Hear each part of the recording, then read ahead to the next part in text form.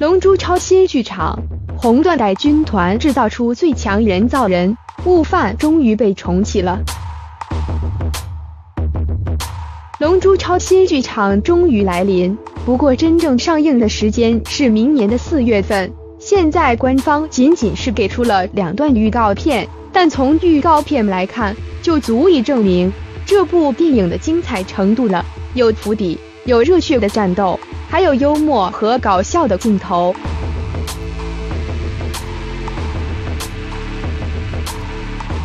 而且从画面上来看，相当有历史感，因为内容是讲述红缎带军团复仇的故事。当年悟空一个人干翻了红缎带军团的人，现在他们卷土重来。不过这一次不仅仅是用武器征服世界，而是用改造人。下面一起来分析下吧。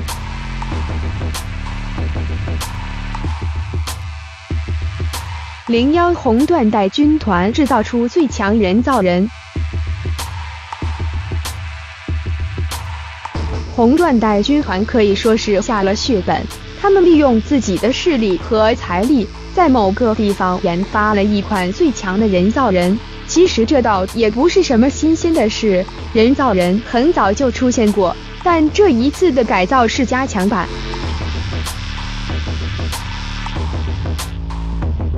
据说比布欧还要强，这就有意思了。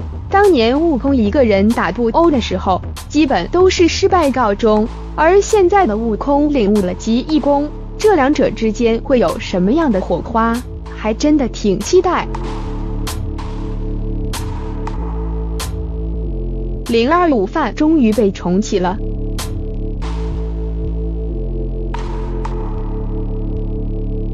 不过。这一次的主角不是悟空了，而是悟饭和比克。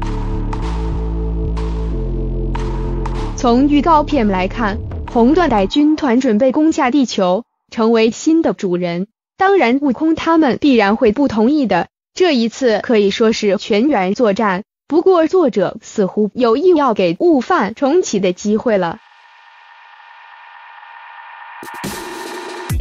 毕竟悟饭已经荒废了很多年，自从龙珠超开启之后，这一系列中都没有悟饭的身影。悟空和贝吉塔不断强大，悟饭彻底变成了一位学者，照顾家庭。这与他的设定不符合，所以启动悟饭，我觉得未尝不是一件好事。也有人说。这不就是悟饭 vs 沙鲁的重置版吗？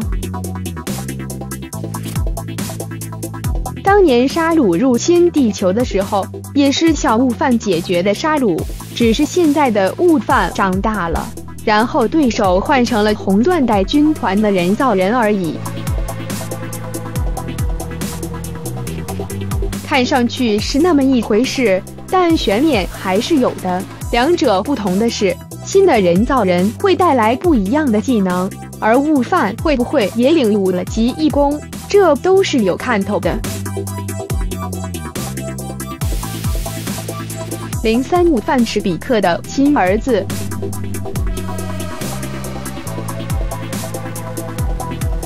悟空和贝吉塔去了维斯那里修炼之后，就没有管过悟饭了。现在的悟饭还是跟着比克一起修炼。更令人意想不到的是，悟饭越来越像比克了。有不少网友说，悟饭更像是比克的亲儿子，穿着头戴白毛巾，还有披风，完全一模一样。悟空再不回来，比克就要认领悟饭了。但我个人感觉，悟饭是想要通过这一战拿回属于自己的东西，因为悟饭这些年的镜头确实少了很多，导致很多人都质疑他的实力有没有那么强了，甚至都快忘记自己是赛亚人的血统了。龙珠超除了讲述宇宙强敌之外，就没有给悟饭的故事，照这样下去就快被遗忘了。所以鸟叔为悟饭扳回一城，让他在剧场版出现风头，这也算是弥补了悟饭多年来的空缺。你喜欢这个视频吗？谢谢您一直关注并支持咕咕动漫频道，希望您能有一些放松和娱乐的时刻，分享出去，让更多人知道吧，并且不要忘了留下一个喜欢，订阅我，再见。